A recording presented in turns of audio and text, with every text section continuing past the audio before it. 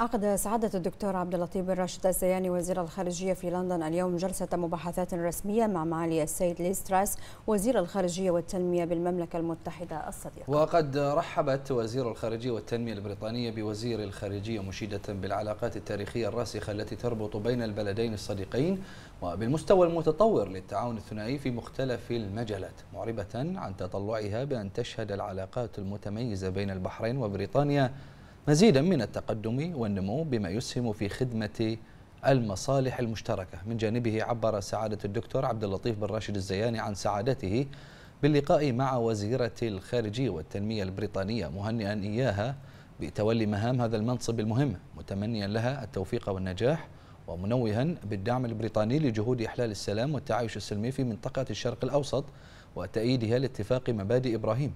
وأكد وزير الخارجية اهتمام مملكة البحرين بتوسيع مجالات التعاون المشترك مع المملكة المتحدة في مختلف المجالات السياسية والأمنية والاقتصادية مؤكدا خصوصية العلاقة التاريخية التي تجمع البلدين والشعبين الصديقين.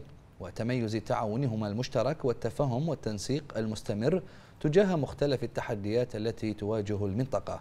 وخلال الاجتماع استعرض الوزيران المسير المسار المتميز لعلاقات الصداقة التاريخية التي تجمع بين مملكة البحرين والمملكة المتحدة وما تشهده من تطور ونمو متسارع في مختلف المجالات كما بحث الجانبان سبل تعزيز وتنمية التعاون الثنائي في كافة المجالات السياسية والاقتصادية والتنموية.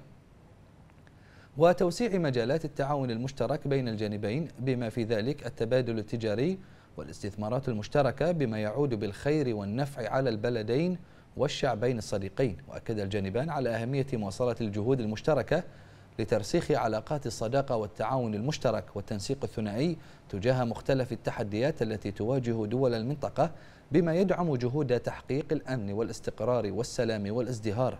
حضر جلسة المباحثات مع الشيخ فواز بن محمد آل خليفة سفير مملكة البحرين لدى المملكة المتحدة والوفد المرافق لوزير الخارجية.